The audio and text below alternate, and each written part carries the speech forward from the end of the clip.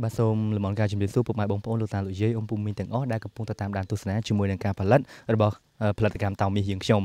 ហើយឱកាសនេះផងដែរខ្ញុំបាទខៀវសំភេទបាទនឹងសម្ដែងជូននៅបទចម្រៀងដែលមានចំណងជើងថាផ្លូវនរកជាមួយនឹងកញ្ញាផាណាវីដែលទីតាំងភូមិសាស្ត្រដែលក្រុមការងាររបស់យើងខ្ញុំនឹង ប្រតិយកជូនទៅដល់ពុកម៉ែបងប្អូននៅខណៈនេះគឺស្ថិតនៅក្នុងស្រុកស្ទឹងសែនខេត្តកំពង់ធំហើយក្នុងនោះផងដែររូបភាពដ៏ស្រស់ស្អាតទាំងអស់នេះក៏ក្រុមការងារយើងខ្ញុំបានផ្ដិតយកមកពីទីក្រុងភ្នំពេញខ្លះផងដែរដើម្បីឲ្យស៊ីជាមួយនឹងអត្ថន័យនៃបទចម្រៀងដូច្នេះយ៉ាងណានោះសូមទទួលអារម្មណ៍រីករាយនឹងទស្សនាកំសាន្តអំពីផលិតកម្មតោមាសរបស់យើងខ្ញុំទាំងអស់គ្នាដូចតទៅសូមគ្រប់អញ្ជើញ